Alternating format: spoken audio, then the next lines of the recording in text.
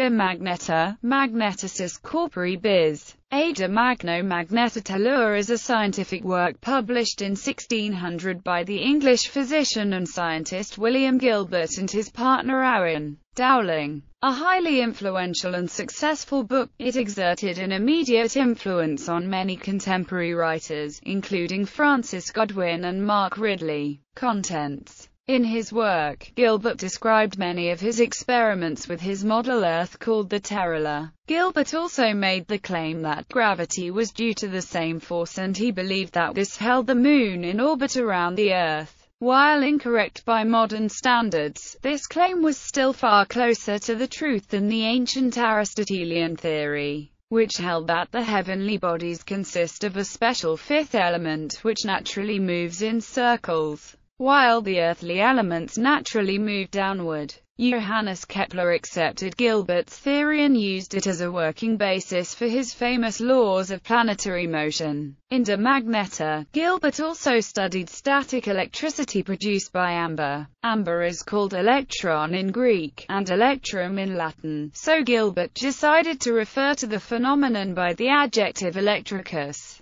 giving rise to the modern terms electric and electricity. De Magnete was influential because of the inherent interest of its subject matter, but also for the rigorous way in which Gilbert described his experiments and his rejection of ancient theories of magnetism. Gilbert nevertheless acknowledged his debt to Peter of Maricourt and incorporated this 13th-century scientist's experiments on magnetism into his own treatise. Although Gilbert's thinking was influenced by the mysticism of his time he is regarded as a pioneer of experimental science. Book 6, Chapter 3, of the daily magnetic rotation of the globes. In this chapter Gilbert argues in favor of the Copernican system. He posits that due to the inordinate size of the celestial spheres, if in fact the spheres exist at all, it is an absurd idea that they would rotate every 24 hours, as opposed to the rotation of the relatively tiny sphere of the Earth. He states, how far away from the Earth are those remotest of stars?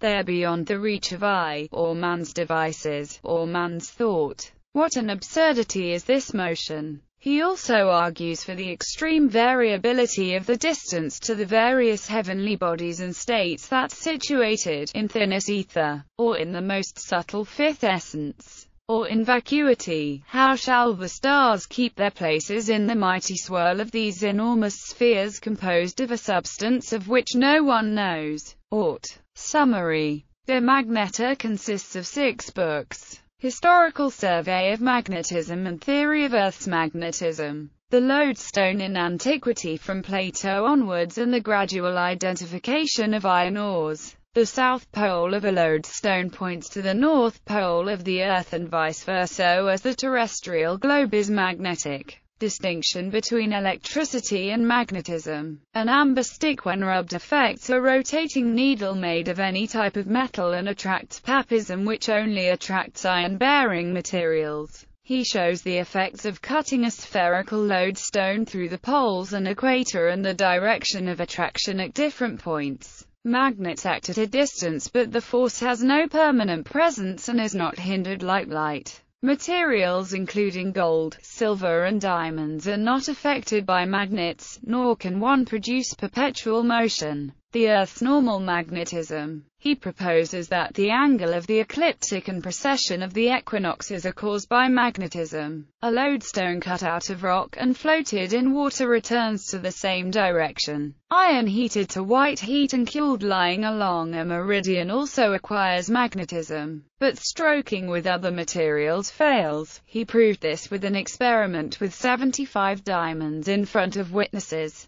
The best way to magnetize a compass Declination. The compass does not always point to true north. There is considerable variation. Using the Terrella he shows that variations in the height of the surface can lead to differences but insists that variation is a global issue. In the midst of the ocean or continent there is no variation. He shows how to measure variation and the sources of common errors. Magnetic dip the angle of inclination of a compass to the horizon differs according to latitude. He shows how to construct a dip instrument. At the equator it is level and increases towards the poles as he has shown earlier with his terrestrial terrestrial rotation. Heraclides and others held that the Earth rotates from west to east and this is supported by Copernicus but Aristotle said otherwise. If the rotations of the Earth seems headlong and not to be permitted by nature because of its rapidity, then worse than insane.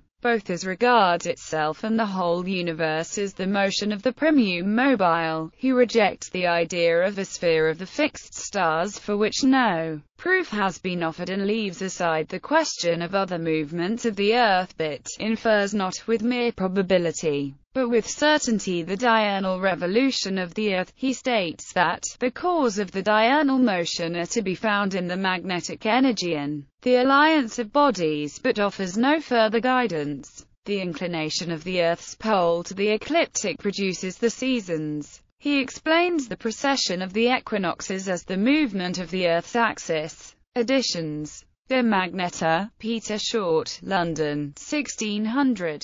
De Magnete, Wolfgang Lochmans, Stettin, 1628. De Magnete, 1633. De Magnete, 1892. De Magnete, English translation by Paul Fleury Mottelay, 1893 Gilbert, William. De Magnete, New York. Dover Publications. ISBN 0-486-26761-X. Also published in Volume 28 of Great Books series by Encyclopaedia Britannica, 1952. De Magnete. Translation by Sylvanus Phillips Thompson and the Gilbert Club, limited to 250 copies. London. Chiswick Press. 1900.